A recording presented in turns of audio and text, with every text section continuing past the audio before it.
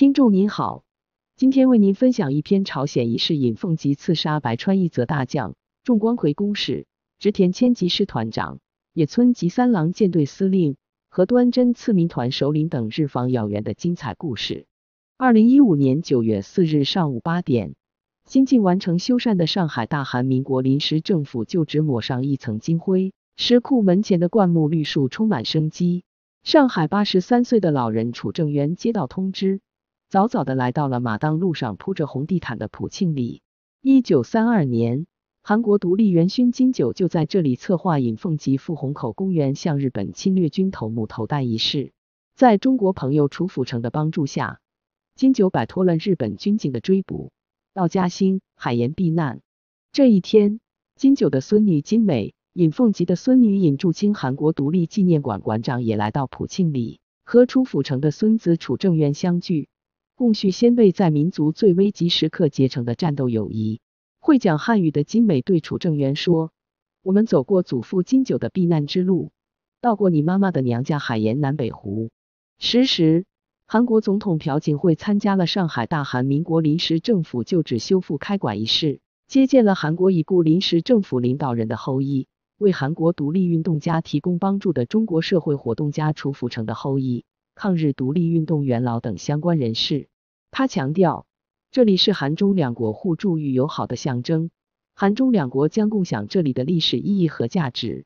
这个初秋，楚辅成、金九、尹凤吉，我们这个故事中三个重要人物的后代，戏剧性的在普庆里四号相聚，他们延续着先辈的友谊。八零年前，那个一盖云天的英雄故事，今天仍像无穷花那样绚丽而有活力。冯乔尹凤吉邀请韩人爱国团的一个女队员李东海，和她假扮恋人，去虹口公园观察地形，目测距离。丈夫出家生不返，一对情侣看似悠闲，在林木葱茏的上海虹口公园里散步游玩。小伙子名叫尹凤吉，在虹口附近摆过菜摊，体魄健壮干练，与青年龟子李东海穿着紧身旗袍，面容清秀娴静。他俩看着日本人在草地上搭台，筹备天长节庆祝活动。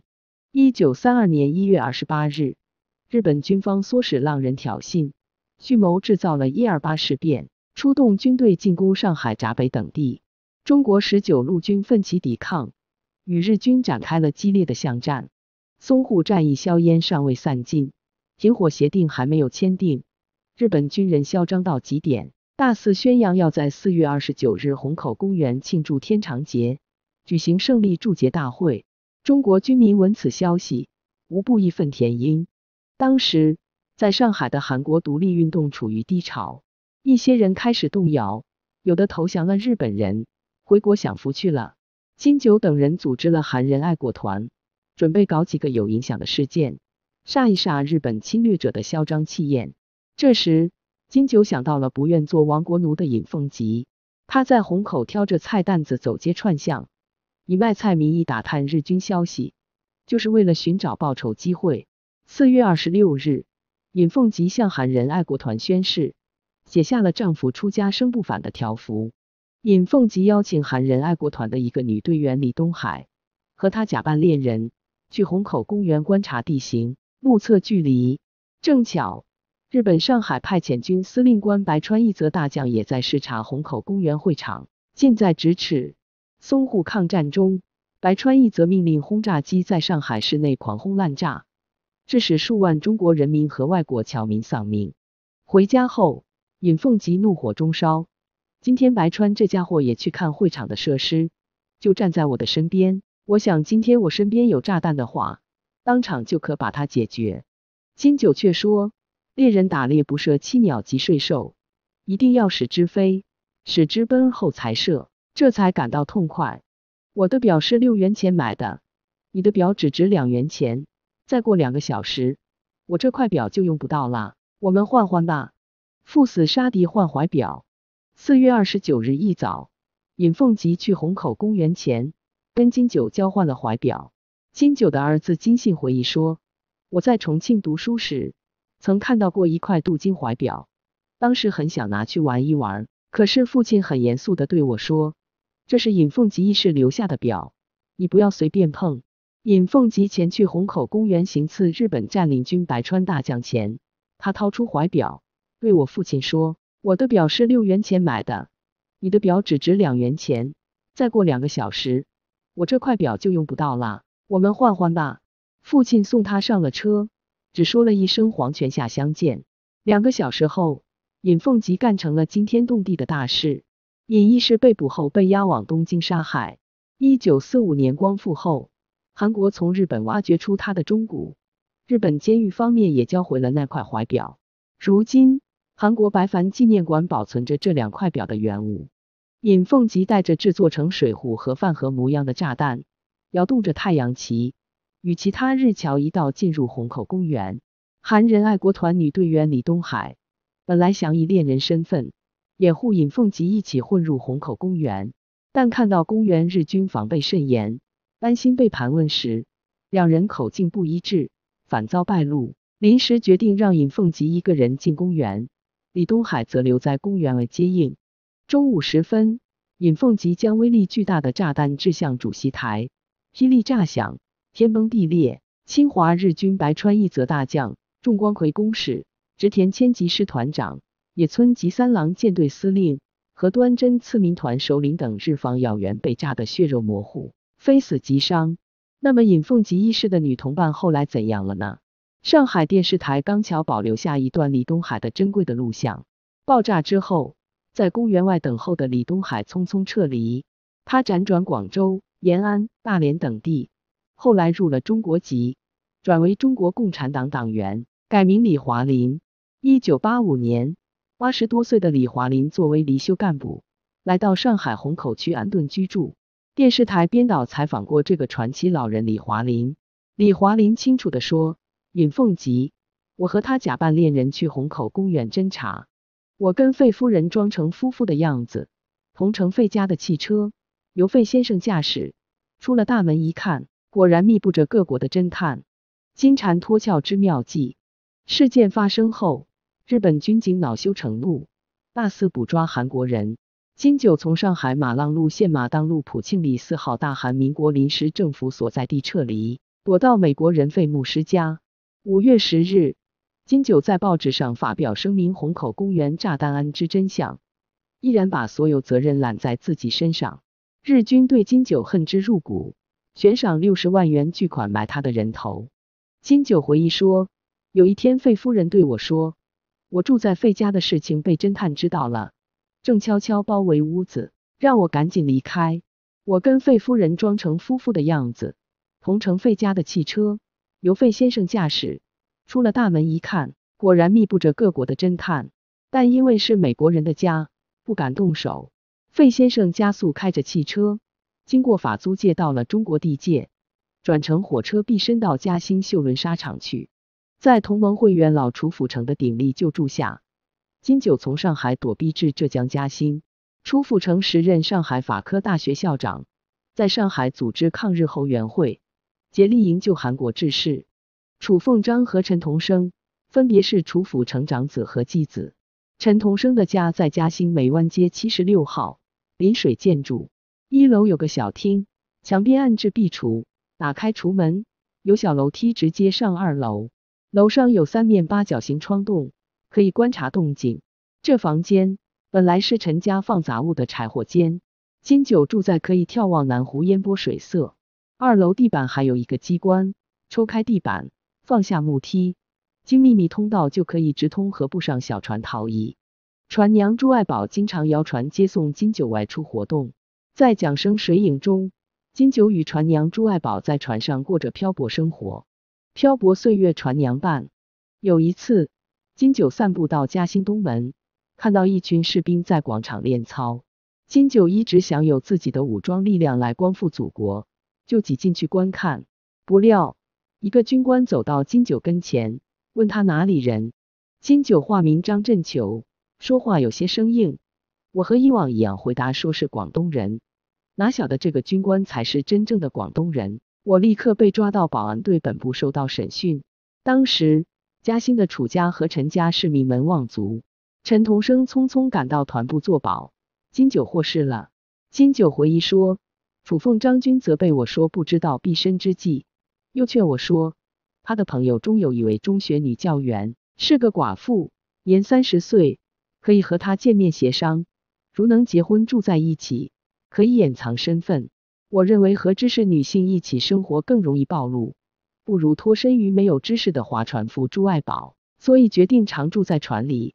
今天睡在南门外的湖水边，明天睡在北门外的运河岸。白天在上岸活动，船娘朱爱宝经常摇船接送金九外出活动。在桨声水影中，金九与船娘朱爱宝在船上过着漂泊生活。金九自称，我和他在不知不觉中产生了类似夫妇的感情。他照顾我实在功劳不小。临时政府不断迁徙，从嘉兴、杭州、镇江辗转到南京。金九扮作买卖古董的古玩商，假托原籍海南岛。他在南京怀清桥找了一栋房子，又请来了船娘朱爱宝同居。如警察来查户口，由朱爱宝对答应付，出面说明一切，金九就可不露面，免岛覆辙。一九三七年秋冬，日本空军对南京空袭也愈来愈甚，金九住的怀清桥房子在轰炸中被毁，他和朱爱宝幸免于难，邻居则尸体遍横。只见南京各处火焰冲天。夜晚的天空被染得通红。金九打算撤离南京，要与掩护服侍他多年的船娘朱爱宝分别。临别时，金九给了朱爱宝一百块大洋，让他暂时回嘉兴。从此，金九与朱爱宝失去了联络，朱爱宝的下落成了一个谜。后来，金九之子金信从父亲的照相本里翻出两张女性照片，让楚府城的孙女楚丽珍辨认是不是朱爱宝。楚离真带着照片继续到处寻找，从夏米棚一直找到了东栅。当地有的老人看到过金九，隐约知道朱爱宝的下落。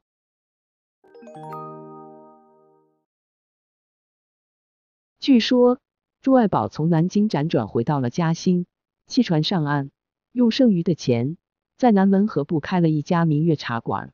后来朱爱宝嫁给了一个教育今生的烧饭师傅，搬到了东栅居住。改名朱贵宝。朱贵宝曾对居委主任说：“我原来的名字就叫爱宝。”上个世纪八十年代，朱贵宝去世，楚离珍从朱贵宝妹妹那里找到一张老照片，和金信提供的照片一比较，容貌和穿着打扮重合率很高。经过多方比照，大致确定东栅的朱贵宝就是朱爱宝。楚夫人当时刚生第一个婴儿，才五六个月，穿着高跟鞋。在七八月炎日之下，爬山过岭，频频用手帕拭着汗，动人画面传后人。日本便衣警察沿着护航线查找金九的行踪，嘉兴火车站出现了暗探。楚凤章夫人朱家蕊陪同金九去海盐县城五原镇避难。金九描绘爬山情景：楚夫人当时刚生第一个婴儿，才五六个月，穿着高跟鞋，在七八月炎日之下爬山过岭。频频用手帕拭着汗，楚夫人娘家的女婢带着我的食物和其他日用品跟随着。我看到这光景，真想把这场面摄成影片传给万代子孙，但这又怎能办得到呢？金九在南北湖在清别墅住了半年光景，保留下韩国独立运动的火种。八十三岁的老人楚正元就是当年的那个婴儿。楚正元说：“我出生在一九三二年二月，我母亲就是朱家蕊。”金九避难嘉兴时，我刚出生几个月。我开始并不知道这件事情，直到抗战期间，我们生活在昆明。有一次，韩国临时政府的几位官员来看祖父楚府城，祖父还站在楼梯边去迎接他们，但母亲并没有告诉我，是他带金九去他娘家避难这件事。直到我看了金九自传《白反义》之后，才得知到朱家蕊从内地返回上海。居住在复兴中路桃源村二十八号，邻居说他气质高雅，但为人低调，很温和，谁也不知道他做过惊天动地的事情。一九五五年，在锦州空军航校的楚正元突然接到母亲病重的消息，部队批准他回家探望。等到楚正元赶回上海时，朱家蕊在桃源村溘然离世了，享年五十一岁。一九九六年。鉴于楚府城救助金九等韩国独立运动人士的特殊功勋，韩国政府授予楚府城大韩民国建国勋章独立章，由楚府城长孙，曾任中国驻津巴布韦大使的楚启源代表家属接受。艰苦卓绝的抗日战争终于赢得了胜利。一九四五年十一月五日，金九从重庆飞到阔别了十三年的上海，出了新公园，正要去室内时，见到有六千名同胞从早上六点钟起就开始在此等候。我跨上一个一丈多高的讲台，向同胞说了几句感谢的话。后来才知道，那个讲台就是十三年前尹凤吉一事向倭寇百川大将等投弹之地。我相信世界上没有偶然的事情。东京湾内，美国战舰密苏里号上，日本投降签字仪式签字的日本人，就是先前被韩国志士尹凤吉在虹口公园用炸弹炸断腿的日本公使重光葵。侵略者终于低下了头。历史可以过滤掉许多无关紧要的东西，但有些动人的故事一定流芳百世。